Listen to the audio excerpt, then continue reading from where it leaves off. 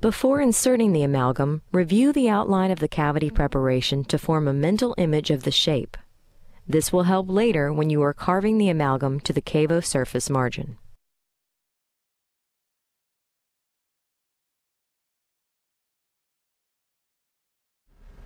Use an amalgam carrier to transfer amalgam to the cavity preparation. Use a flat-faced condenser to condense the amalgam over the pulpal floor of the preparation.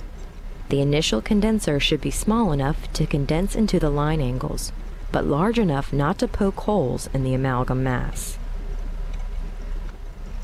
Be sure to condense each portion of amalgam before placing the next increment. Each condensed increment should fill only one-third to one-half the cavity depth.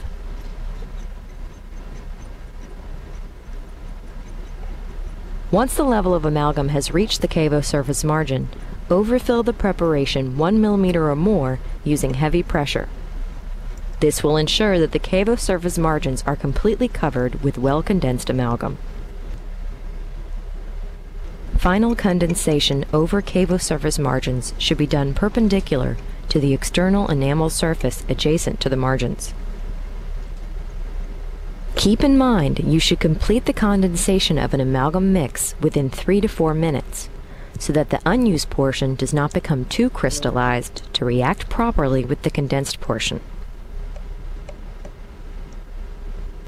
Burnish the amalgam immediately with a large football burnisher, using heavy strokes mesiodistally and faciolingually to make sure the marginal amalgam is well condensed before carving.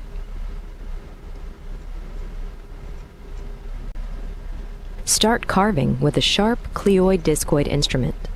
Use a larger cleoid discoid first, followed by a smaller one in regions not accessible to the larger instrument.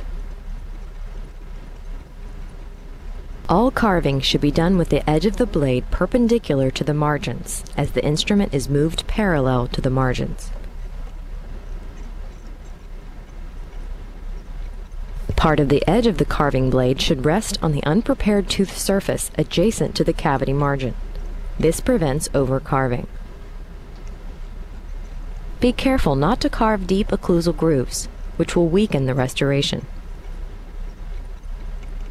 During the carving procedure, try to visualize what the final restoration should look like. Use a mirror to assess your progress while establishing proper anatomy.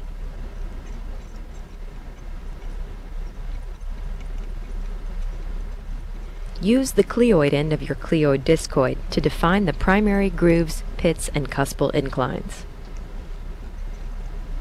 If your amalgam outline is larger than what the final outline should look like, you will need to continue carving. Try to create contours and occlusion that reproduce the missing tooth structure. The mesial and distal fossa should be slightly deeper than the proximal marginal ridges.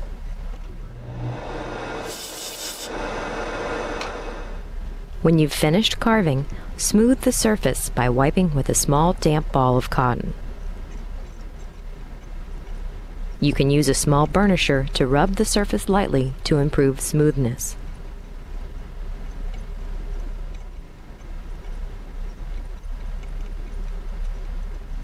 When you evaluate the final restoration, make sure the surface is smooth, free of any irregularities or scratches, and the margins are even. Check to make sure the contours and occlusion are correct. The final anatomy of the restoration should be patterned after normal occlusal contours.